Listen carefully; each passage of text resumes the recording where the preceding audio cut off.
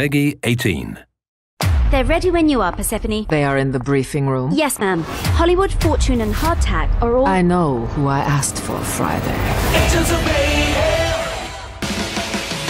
Look here. See these three? They call themselves the Franchise Force. Good to know none of this is going to their heads. Hell yeah! Franchise Force is back in action. I gave us a nickname.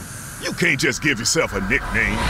This is Hollywood, ostentatious showboater, reality TV star, and former adult film actor. When I need over the top and unnecessary spectacle, then Hollywood is my top pick. Just walked into the danger zone. Now, Sky Pirates are notorious for being selfish, untrustworthy, backstabbing thieves. But I'm willing to overlook certain peccadillos if I still get results. And Fortune, with those pistols of hers and attitude to spare, gets me results. Plus, she makes good use of her drone glory. Go get him, Glory!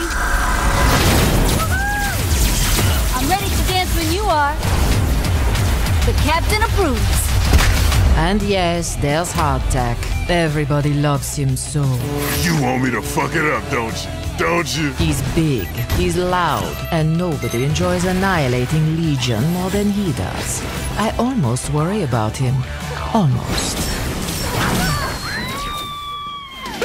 Yes, these agents require specific handling, and apparently I must account for an array of cost intensive preferences.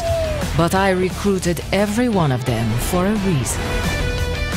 Because I know the best weapon we have is unpredictability, Hold on to your booty. and my agents specialize in it.